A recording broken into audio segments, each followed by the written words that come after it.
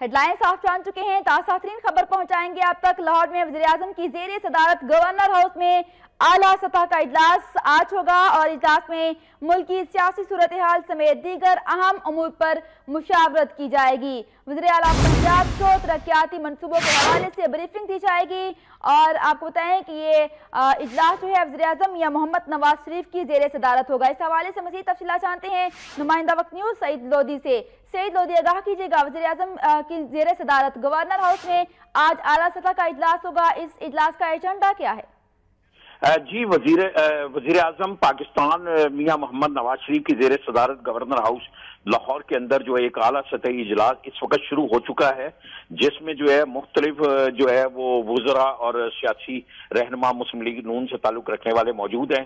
اجلاس جو ہے اس وقت شروع ہو چکا ہے۔ اس اجلاس کے اندر جو ہے وزیر اعظم کو جو ہے ملک کی صورتحال کے حوالے سے جو پاناما لیگز کے بعد کی صورتحال پیدا ہوئی اور تمام سیاسی جماعتیں، اپوزیشن جماعتیں جو ایک پلیٹ فارم پہ کٹھی ہو کر جو ہے نون لیگ کو ٹف ٹائم دے رہی ہیں اس وقت۔ اس کے حوالے سے جو ہے ملک کی صورتحال پر مشاورت ہوگی۔ اس کے علاوہ جو ہے وزیر اعلیٰ پنجاب میاں نواز شریف جو ہے اورنج ٹرین اور پینے کا صاف پانی سمیت جو یہاں پر منصوبے پنجاب کے اندر جو ہے چل رہے ہیں اس کے حوالے سے جو ہے وہ وزیر اعظم کو بریفنگ دیں گے اور ان منصوبوں کی جو رفتار ہے تعمیر ہونے کی اس کے حوالے سے جو ہے وہ اعتماد ملیں گے۔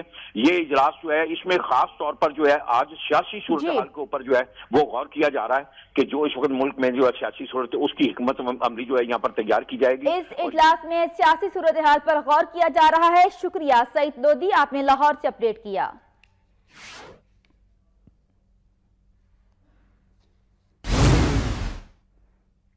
اہم خبر پیپلز پارٹی آج آزاد کشمیر کے شہر کوٹلی میں میدان سجائے گی۔ جلسہ عام سے پیپلز پارٹی کے چیئرمین بلاول بھٹو زرداری خطاب کریں گے۔ اہم خبر آپ تک پہنچا رہے ہیں، جہاں پر آپ کو بتائیں کہ پیپلز پارٹی بھی سیاسی قوت کا مظاہرہ کرے گی۔ آج کشمیر کے شہر کوٹلی میں اس حوالے سے مزید تفصیلات جانتے ہیں۔ نمائندہ وقت نیوز، رضوان قریشی سے۔